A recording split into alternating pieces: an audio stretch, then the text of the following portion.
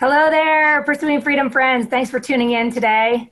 Love having you here as always. I'm really excited today to introduce you to Kyle Whissel out of San Diego, California. He's with eXp Realty, and um, Kyle has been in the business a long, long time, but started as a young pup back at the age of 19. And we're going to dig in a little bit to everything from the journey from commercial to residential, following your parents' footsteps, all that good stuff. But uh, I won't waste any time. We'll just jump in. So, Kyle, tell us a little bit about you, how, when, why you got into real estate, and we got a we got a big journey to cover in a short amount of time here. You got a lot of yeah, cool stuff going on. For, for sure. So we'll, we'll dive in. Um, I grew up in a real estate family. Uh, my dad had been in the business since before I was born. Um, so I was definitely born into the industry. Growing up, was not the biggest fan of real estate. Uh, my dad was one of the top realtors here in San Diego, mostly on the commercial side. Um, and a lot of times his efforts in the real estate side of things affected his time with me. Um, and so, you know, I remember all those times if he wouldn't show up to a game or wouldn't show up the days he was supposed to have me or was late or whatever, like that stuff really um, affected me as a child um, to where it made me resent real estate as I was growing up. And so, never in a million years thought I would get into real estate. Uh, but once I went to college, I think I was either sophomore or junior in college at UCSD here in San Diego. And my dad kept pushing me, you need to buy something, you need to buy something, you need to buy something. And I was like, Dad, I work in a movie theater. I scoop popcorn. Like, I can't buy anything. And, you know, back in the early 2000s, they just put a, you know, a mirror under your nose, you fog it, and they give you a loan. And uh, they gave me a loan for a half a million dollar property when I was making, you know, nothing. Um, it was totally crazy, but I was like a manager. And so on a stated income loan back then, that was all you needed. And so they gave me a $500,000 loan. Um, sold the property a few months later. I netted seventeen thousand bucks, and so scooping popcorn, seventeen thousand bucks was a pretty easy decision. Um, and so I then reached out to my dad and said, "I know I said I'd never do real estate, but I can't resist this kind of money. Let's talk." And so I uh, joined my dad, and again, he was on the commercial side of things, so mostly apartment buildings, some shopping centers here and there. And so I joined him on the commercial side of things and worked with him for about five or six years and learned a ton from him. He's an amazing negotiator. Um, so really learned a lot about negotiating, learned a lot about connecting people, all of that stuff while I was with him. Um, did not learn anything about technology. I mean, it was insane. It, when he wanted to send a client a property, he would print it out.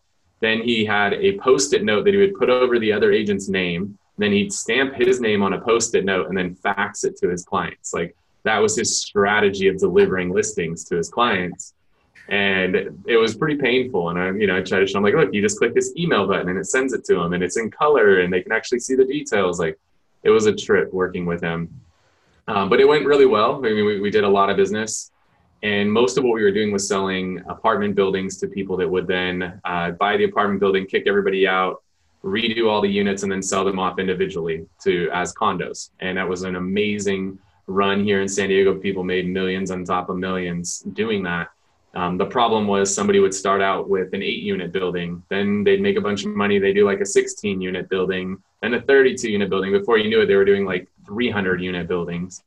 And the city kind of freaked out a little bit because they were running out of apartments to rent. And so they put some rules in place that basically made it impossible to do that anymore. The issue that happened there was that the uh, price of apartment buildings shot through the roof. And if you couldn't sell them as condos, the rents were down here. So it didn't make any sense to own an apartment building with the rents down here. So all my investors were saying like, this is stupid. I don't want to buy any more apartment buildings. Um, but I'm open to buy some houses because this was right around 2007, 2008 when everything was crashing and there was a ton of REOs and short sales and foreclosures all over the place. And so my investors were saying, well, what about, you know, buying some of these houses? I don't, I could go buy five houses cheaper than I can buy a five unit apartment building. And so then I looked around and I saw that some of these agents would have, you know, 100, 200, 500 listings, you know, between short sales and REOs all at the same time. And I was like, that would be pretty cool, right? Like to have that much inventory as opposed to commercial. I was closing a deal like every two or three months. And there were guys out there closing a deal every, you know, two or three days. And so I saw that opportunity and told my dad I appreciated everything that he taught me and decided to make the jump over to residential on my own. And so I did that um, in 2008 and started out on my own with an assistant. I've always had an assistant from day one. I've always lived by the motto if you don't have an assistant, you are the assistant. Mm-hmm. Um, I have no idea how people function without having an assistant. It's insane to me. Um, they're doing so much minimum wage work. It's insane. And they justify it by the fact that they're staying busy. But if they would take that time that they're spending doing assistant work and instead spend it prospecting, um, I mean, they've there's some studies and a bunch of them have different numbers, but the study that I've always followed, you know, says that your time prospecting is worth approximately twenty seven hundred dollars an hour. But yet you want to go do fifteen dollar an hour work. Like, what the hell are you doing? Um, yeah. But people just justify it in their head because they're busy that it's okay. But if they would actually realize the opportunity cost of what they're doing, um, they could make a, you know significantly more money in this business. So um, started out with an assistant initially and um, doing a lot of short sales because short sales were a little bit easier to get right away. Started working a lot of the REO relationships at the time with asset managers, going to conferences, networking. Um, then all the REO stuff started to flow in as well. So I had a lot of short sale listings, a lot of REO listings. And then at that point, I knew that I could not service all of the business with just me and an assistant. So I tried bringing some buyer's agents in, but I never really knew what the hell I was doing. I didn't understand the importance of speed to lead. I didn't understand the importance of follow up plans or anything. Like leads would come in and like once a week, I'd take all the leads that from that week and send them over to one of my agents. Like, here you go, follow up with them like weekly, not like within a second, right. a week. It was crazy. Um, so needless to say, they never converted any of those. Um, so that wasn't working. And then I was sitting around one day on a Black Friday and computers were on sale from Dell for like 200 bucks. And I was just like, fuck it. I'm going to just I'm gonna go big, and I bought ten computers, and I was in a hundred square foot office at the time. and I was like, all right, cool. Now I got ten computers. Now I need like an office for these computers. Um, so then I went and leased up like a 2,000 square foot office. I was like, all right, I got office and I got computers. Now I need people. And that first year, I pretty much hired anybody and everybody. I just wanted to fill the office up. So I had people from like 20 to 120 years old. Like I just literally hired anybody. And kind of had the mindset of like, let's just give them a chance and, and see what works. But what ended up happening is we're very, very tech based. And so some of these um, older agents were just struggling so much with the technology that we were spending more time on tech support than we were on actual, you know, business. And I realized that first year I lost well over a hundred thousand dollars that first year. Um, that was kind of my learning lesson to understand culture and understand the importance of putting the right people on the right seat on the bus. Mm-hmm. And so we got rid of those agents that didn't fit. And again, not that the 120 year old agent that doesn't even use email can't be successful. Um, there's an agent here in San Diego who's 80 years old, does not know how to use a computer, and is still one of the top 10 agents in the entire city. So wow. it's not that they can't they can't be successful without using the technology. That's just not a fit for us. And so you got to know what's a fit for you. What's your culture? What's the right fit? Um, the year that we figured that out, we went from 82 transactions to 242 transactions. So our biggest leap year ever was when I really started to understand that and started to understand the right people that work within our framework that fit our culture. Um, that was when we really had a huge leap in our business.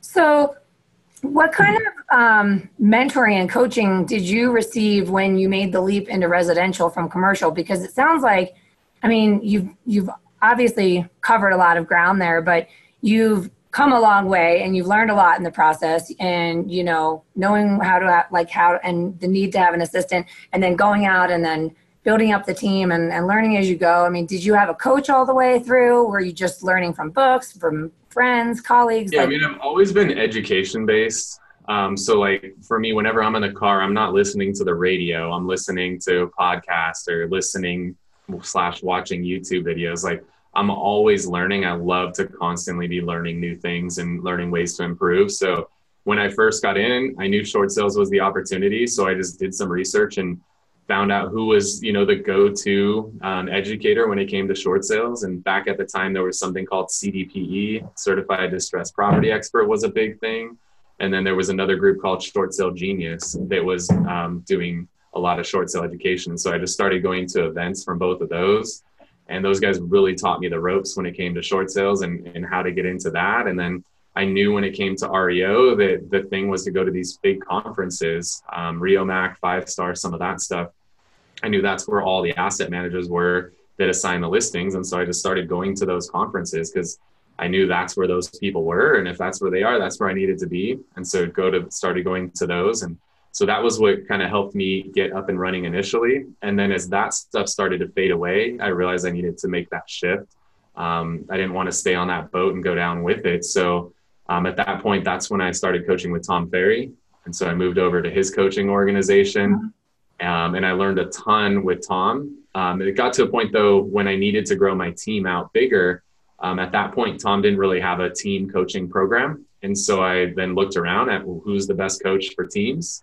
And at that time, Corcoran Coaching, um, which was led by Bob Corcoran at the time, um, I reached out to them and they had an amazing system of here's the people to hire, here's how to pay them, here's the interview questions, boom, boom. Like it was perfect. So wow, um, that worked really, really well. And that kind of helped me build my team up bigger.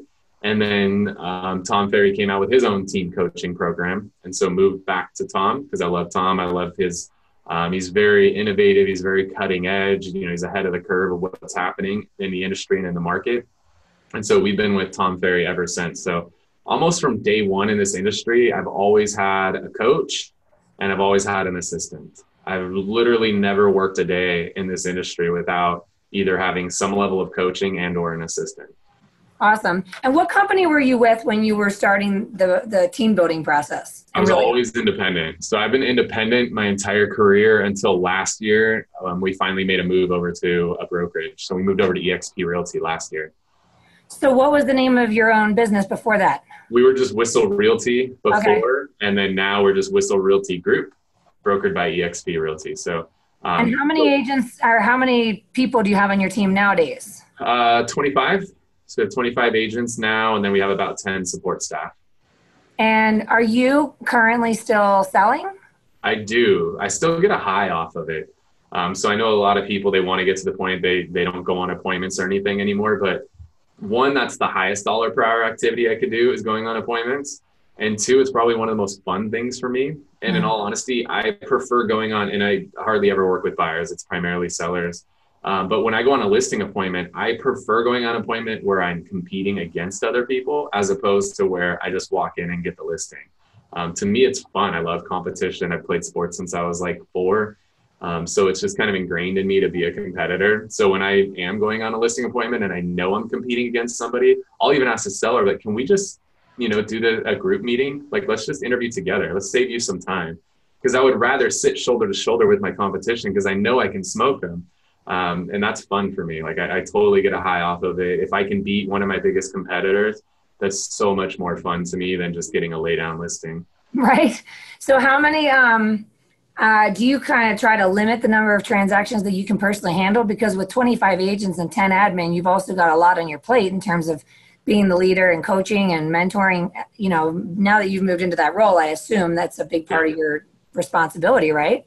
Yeah, so I do one a week on average. So my goal is always to do somewhere in that 50 to 55 range is what I try to you know, strive for with production. And that keeps me balanced. That's enough to um, keep me out there, keep me active. I, as a leader, I like to be in the trenches with my team because it really helps me understand exactly what they're going through. Because reading about what's happening in the market versus experiencing what's happening is two different things. And so when I'm actually going out and I'm hearing the objections, right? Like our market is shifting significantly in San Diego right now. It's good for me to be out there at the table, at the living room table or dining room table with a, a seller or a buyer and actually hearing the objections that you know based on what they're hearing in the media. So i think it's really good that i can experience it. And i think my team looks up to me and is like wow kyle does all of this other stuff and still goes out and sells 50 homes a year? Like what am i doing selling 10 so what does it look like with your team in terms of are you pretty well scheduled and in terms of uh, the time you spend with them and the coaching that you provide them? What does that look like with your group yeah, I mean, I'm super, super structured with my entire life. Um, I really focus on three things now. Uh, one is going on appointments. Two is media. So I do a lot of like radio, I do TV, we have like video shows, um, and I do a lot of public speaking now as well. So it's like one third appointments, one third media, one third running my team. Um, and I, like I said, I have 10 people helping. So we have um, two media and marketing managers that do all of our photography, videography, and marketing. I've got an assistant, I've got a finance manager, a listing manager, a transaction manager. Um, what else do I have? I have a sales manager. Um, I have an operations manager. Like I have people helping me with everything. So, like I said, I'm willing to buy time. So I have a half million plus dollar payroll, but that payroll allows me the ability to be home between five and six every day. It allows me to spend time with my wife and with my daughter, um, and still make a healthy living. Now, you know, we sell. We did almost five million GCI last year I'm not netting two, three million dollars. There's other realtors that net two or three million dollars, but I'm working 40 ish hours a week, you know, and I'm getting to live the lifestyle that I want. And that's more important to me than how much money I actually net. That's interesting. And I was going to ask you about that because you, you know, the real estate business can be very consuming and you kind of alluded to that in your childhood, having experienced that. So it's interesting to hear that, you know, you do have that priority on time and that time freedom is I mean, what is the point, right? What is the point of having a successful business if you're not creating space to enjoy, you know, the luxuries that it can afford you, basically? 100%. Um, so let me ask you this. Um, in terms of, you mentioned earlier about having a, a very tech-based company, and I'm curious, does your do your lead generation activities are they are, is it mostly leads that you're are you i mean are you doing database marketing? Are you doing referral marketing? Or when you say tech based, what is that? What does that encompass exactly? I mean, tech based is really leveraging technology to increase our conversion rate on the opportunities that we have. So, um, a prime example, and this is where I see a lot of team leaders make a huge mistake, is um, when a lead comes in, like, what is your process? How does that get handled? Um, what a lot of people do, like, let's talk about a phone lead, for example.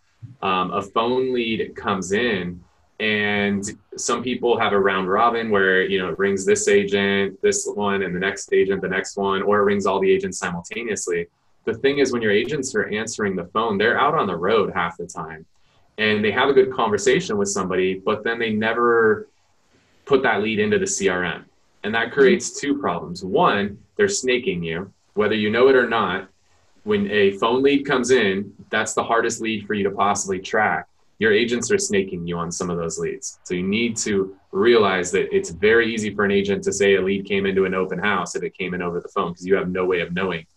Um, so you run into that problem. The other problem with them not putting it in the CRM is that they don't follow up with it. You know, they have a great phone conversation, they write it on like a napkin or a piece of paper, and then they just forget about it. And the lead never goes in the system and never gets followed up with, and it doesn't get converted. So um, we love Jesse over at Call Action. He built out an amazing phone system for us to now when a lead comes in, as soon as an agent answers that, the lead automatically gets imported into our uh, CRM.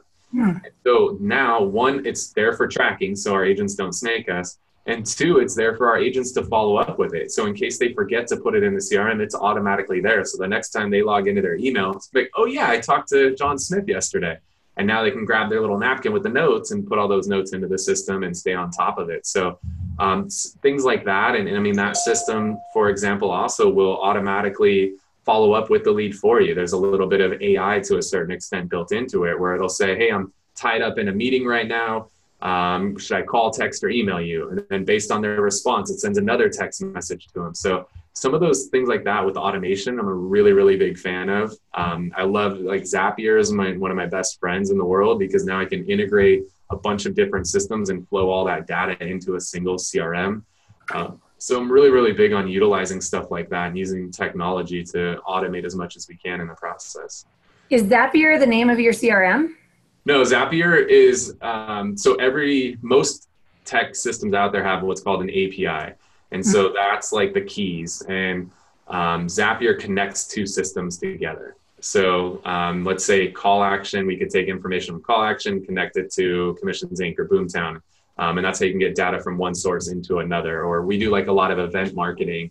Um, we do like speaking events. And so people will sign up in Eventbrite and then Zapier will push that into the CRM. And then at the end of my Eventbrite, my, or my um, speaking engagement, then some we do a, a, survey at the end of that with like a Typeform or a survey monkey. And then i can have that through zapier also feed into the crm so zapier just connects everything together. So it's kind of the hub and everything flows through and then it spits it back out where it needs to go So you're speaking a lot of language that I, I don't comprehend, but no, no, I'm I'm learning, I'm learning. But um, I'm curious because, okay, I, like I, I love all this technology. I use a lot of it. I leverage it as much as I can, but it sucks the life out of me to learn it. Like we have a very robust CRM, which can do just about anything.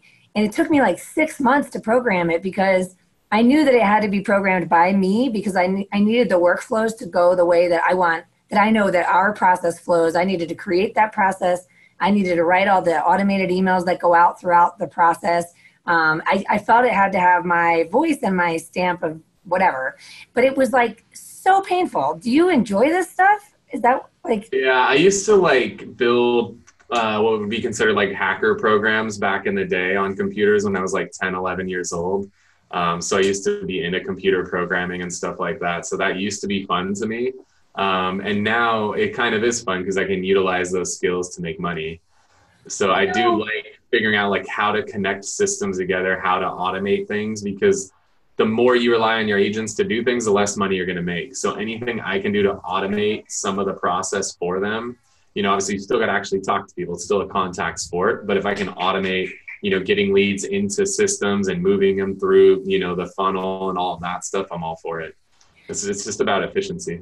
And how, like, how would you respond when, especially an agent who wants to have more automation in their process, but can't seem to find the time and they would say to you you know how do you find the time how do you find the time to learn these new softwares and technologies and then implement them and then get everybody on your team on board with utilizing it. Because i mean 35 people is a lot of people to have to like now impart your passion for this new system or this new way of doing things. Like yeah you got to have somebody on your team who runs that for you. So now i'm more you know if you look at like the eos model there's a visionary and an integrator. Like now behind all these ideas i'm more the visionary with them and then i have an integrator who makes them happen. So now if I'm at a conference, like the reason I love Tom Ferry is he's super innovative and cutting edge and he's always ahead of the curve with technology. So if Tom talks about a technology and I'm like, ooh, that could be good for our business, now I can take that vision, pass that on to my integrator. They can go out, they can do the research, figure out how to implement it, if it's a fit for us, all of that. So now I don't have to be the one actually integrating these things. Now I can just be more of the visionary.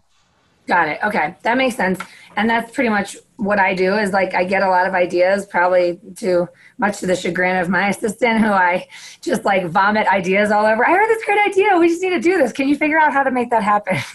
so my coach always referred to it as the director of who. Like you need to have someone on your team that's the director of who, so that when you get another brilliant idea that has to be implemented like yesterday, that you can reach out to somebody and say, I have this idea, and either they can figure it out and handle it, or they can figure out who should handle it. So they become the director of who. Exactly. Love it. But um, now you mentioned video when we were chatting before we started recording. So I know that you're really heavy in video. Like, how do you leverage video to build your brand? And um, is it specifically, you know, real estate focused, or is there a bigger vision for your brand, Kyle Whissel or Whissel Realty? Yeah, I would say a little bit of all of that. So for me, farming is great. I love farming. Um, you know, I've come when I got into this industry, I've always run on streams of listings, not like I'm going to go sell Bill's house and Bill's going to refer me to Mary and then Mary's going to refer me to John. Like that just doesn't work for me. So I've always thought about this business as far as getting streams of listings. So like during the REO days, if I could get in and get a relationship with the asset manager at Fannie Mae, once I get that relationship, that's a stream of listings for years to come. I don't have to go get that relationship then another and another. As long as I maintain that relationship, the listings are going to keep coming. I look at farming the same way. So now I just need to get in a relationship with my farm and the listings will keep coming from it, much like when I got in a relationship with an asset manager. And so we do all the traditional farming stuff, you know, mailers and open houses and calls and door knock and all of that stuff. But we also added in the digital component, especially via video. Um, so what I refer to as digital farming. And so we came out, we've, we're on our third show now. Um, we seem to get about two year run out of every show that we do. The first show we started doing was called Santee Saturdays. And um, Santee is a community within San Diego where we do a lot of business. And we interviewed local business owners every single week. So every Saturday we'd come out with a new video it could be anywhere from the local restaurant, the coffee shop, the chiropractor, the accountant, the insurance person, the personal trainer. Um, every week, we would do an interview with a local business owner. And that was really fun. We did 100 episodes of that show. We had over a million views on that show over that 100 show run. So it was really, really fun. We had a blast with it. Um, once we got to episode 100, we realized we were running out of businesses to do. And so we had to you know, come up with our second show. And so what we did is looked back at those first hundred shows, figured out which were the ones that had the most engagement. And it was almost always our food shows. And hmm. right now, if you scroll through your Instagram feed, it's one of four things. It's either food, fashion, fitness, or family. Those are the four things that really resonate when it comes to social that people engage with. And so we picked food. I love food. I'm a foodie. And we saw we had the results there that food always did really well in those videos. And so we decided with our second show is let's just focus on video, but we couldn't just do our one little community. So now we focus on the whole eastern part of San Diego County and came out with a show called East County Eats. And so now instead of one city, now it encompasses like six cities. And so we had much more options for restaurants to do. And so we did two years of that show and that was just interviewing a local business or a local restaurant every week for two straight years. And that was really fun because like people that own restaurants are amazing people because they are the biggest connectors out there. Like they love people. Nobody gets in the restaurant industry to get rich. Like it is the one of the lowest profit margin businesses in the world. They do it because they love to make people happy. They love to serve people. They love to connect people.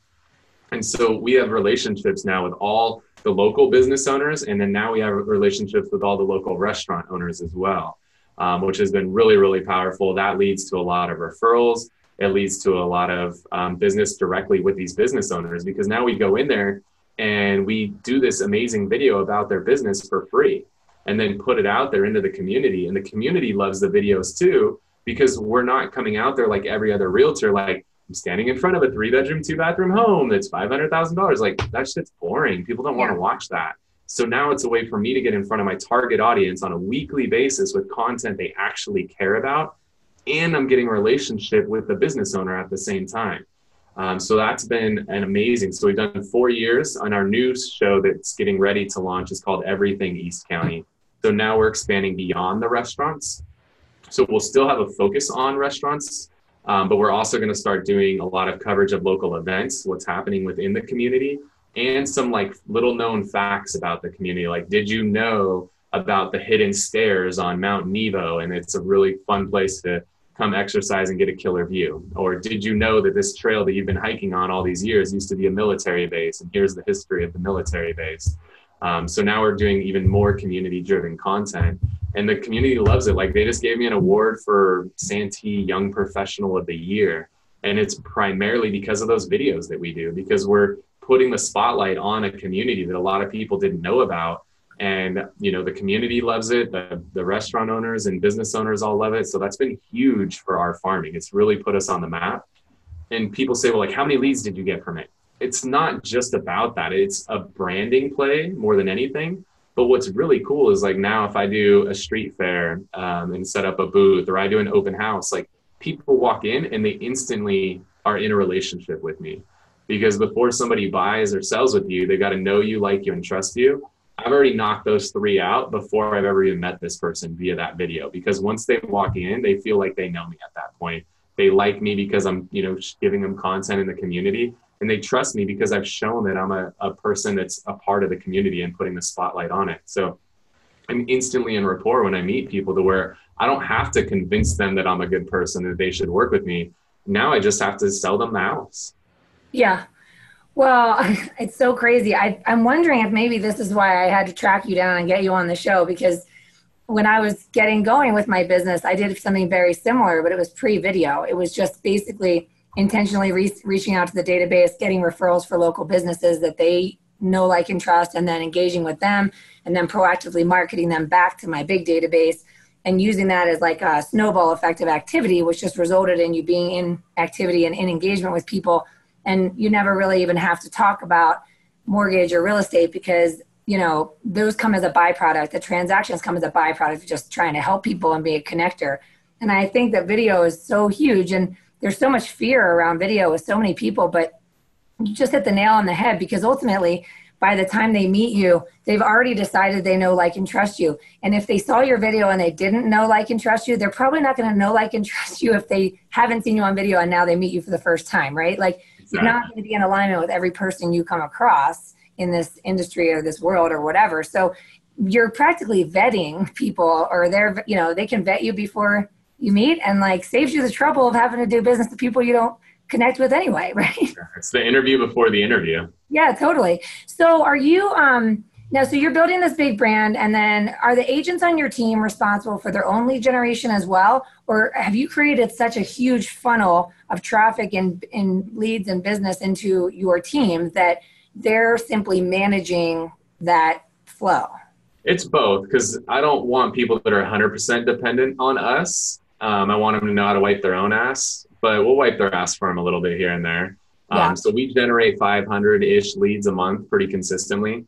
Um, but we also look for them to go out there and create their own business. So I mean, one of our our number three source of business last year was open houses. So open house is something that we, you know, everybody it should always be your database, you know, and referrals. Um, but number three for us is open house. So we really pride ourselves on teaching these guys how to go out there and crush it with their open houses and generate as much business as they can from them. Um, because we want them to know how to create business, not just wait on business to come to them. So, question for you: I hear that you, so you, are spending a lot of time creating content.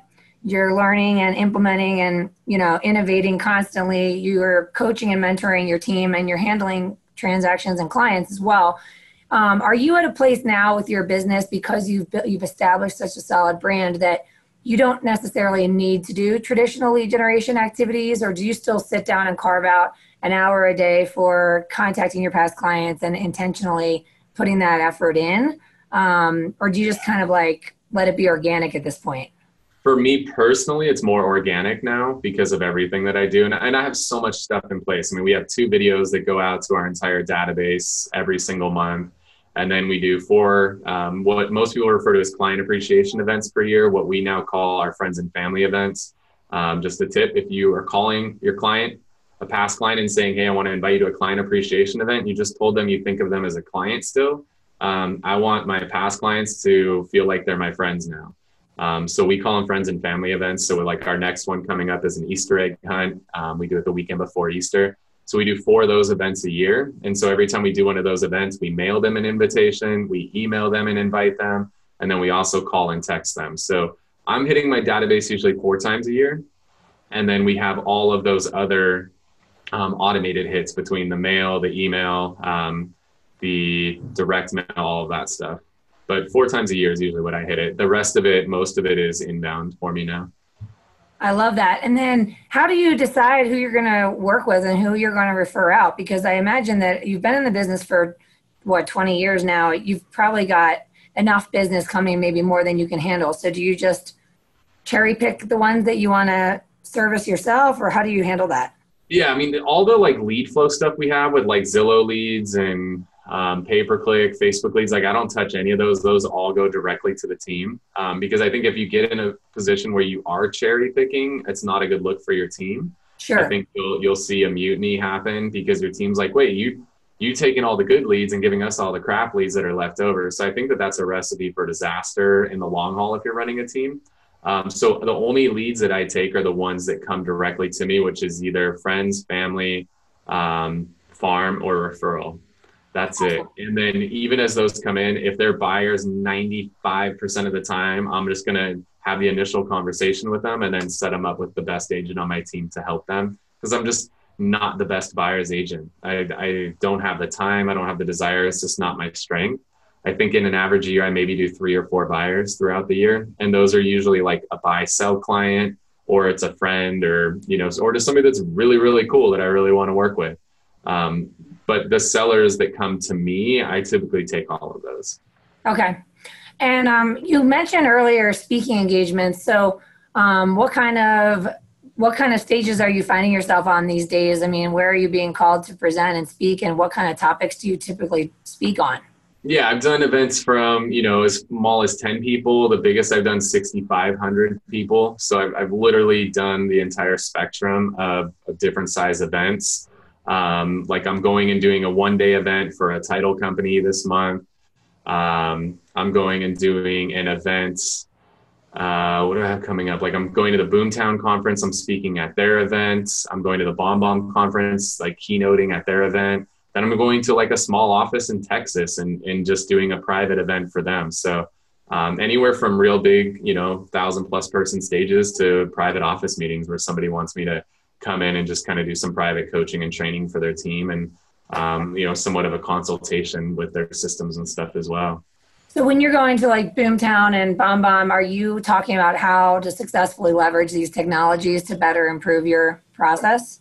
Yeah, mostly I speak video is, is usually the number one topic people want me to talk on. Bomb Bomb gave us an award for number one video influencer in North America. Whoa. Uh, that tends to be a topic we, you know, that people want us to talk about. Sure. Um, we also do a lot of talk on open houses. Um, we literally have a trademark process that we use to launch our listings, which all centers around the open house. Um, and then we do a lot of stuff talking about team building um, and team management, automation, and technology. It's usually the topics we talk about. Awesome. So, what does the future hold? I mean, what's, I mean, I don't know if there's anything left on your plate to put on there, but where are you going? Um, where are you headed with all this? This is amazing. the, I think the speaking and consulting stuff's been really fun. You know, getting like, if you watch The Profit, I love that show. And so I definitely see um, that being something fun to come into somebody's office and, and break it down and rebuild it up, you know, even stronger than it was before. Like that's really fun to me. Um, so I can definitely see doing more of that in the future. Um, I flip a lot of properties. I own rental properties. Um, I run a nonprofit. I do a lot of other stuff too. So the nonprofit's a fun thing. We run a uh, potbelly pig rescue, which is kind of random, but um, so my wife and I we bought a five acre ranch just outside of San Diego, and our mission is to rescue, rehabilitate, and rehome potbelly pigs. And so that's like our passion project. Um, that my wife kind of runs during the week, and then I help out on the weekends with that. Fun, awesome. Well, if folks want to get in touch with you, either to get you into their office for a speaking engagement, or pick your brain, or join your team, or whatever, um, how, what's the best way to find you? Yeah, best thing is just connect with me on Instagram. My Facebook is clogged up. I've passed my limit on stuff there, so um, follow me on Instagram. It's just at Kyle Whissel. Or if you do want to stay connected with some of the real estate stuff we're doing, we have a group on Facebook. It's called The Whissel Way. And you can just go to thewhisselway.com. And that is a group where we share little snippets from our office meetings. We share what technology we're excited about. Um, and we even do some live Q&A and stuff in there. So um, I can't add any more friends on Facebook, but if you want to follow me and what I'm more up to, Instagram, or if you want to connect on business stuff, the Whissel Way group on Facebook. Awesome. I love it. Well, thanks again for taking the time. And um, I'm excited to follow along your journey and see where it heads. All right. I appreciate it. Thanks for having me. Thanks everyone for tuning in. And as always, I ask if you're loving this content, please make sure to leave a review on iTunes or YouTube and make sure that we continue to attract awesome guests like Kyle and uh, keep getting this great content out there. So appreciate all of you. Have a great day.